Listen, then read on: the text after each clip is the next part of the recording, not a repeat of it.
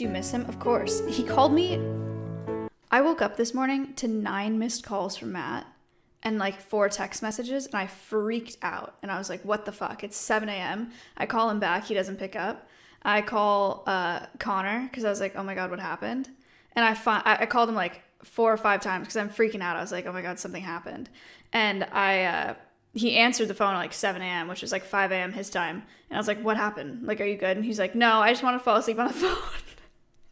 He's to hate that I said that. But he called me nine times for that.